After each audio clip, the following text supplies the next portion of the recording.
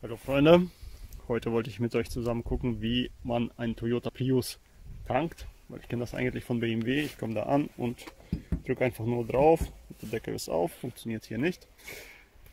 Ich wollte euch mal eben zeigen, wie es geht. Vorher kurz ab, wenn man den Schlüssel hat, das ist das Geniale bei Toyota, du gehst einfach da dran und die Tür geht auf.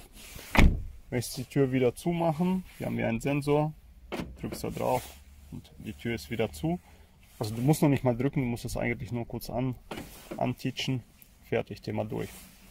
Das heißt, also gut, jetzt ist er wieder aufgegangen, natürlich, weil ich den Schlüssel habe in, in der Tasche, aber grundsätzlich zack und man hört das schon, die Tür müsste eigentlich zu sein, genau. Nochmal drauf, Tür, die Tür zu. Ja. Und jetzt komme ich ans Auto an und die Tür ist wieder auf, genau. So, aber eigentlich geht es darum, wie man das Auto tankt.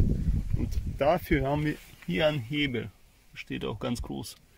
Tankstelle drauf. Und wenn wir da dran einmal ziehen, dann sehen wir schon, aha, der Deckel ist aufgegangen. Jetzt kann ich alles einmal aufmachen. Ja, im Grunde war es das schon. Ein kurzes Video. Hier danke ich Toyota Prius. Von meiner Seite war es das schon. Ich danke euch fürs Zuschauen und ich würde sagen, wir sehen uns im nächsten Video. Bis dahin, Freunde. Danke für eure Abos und Likes.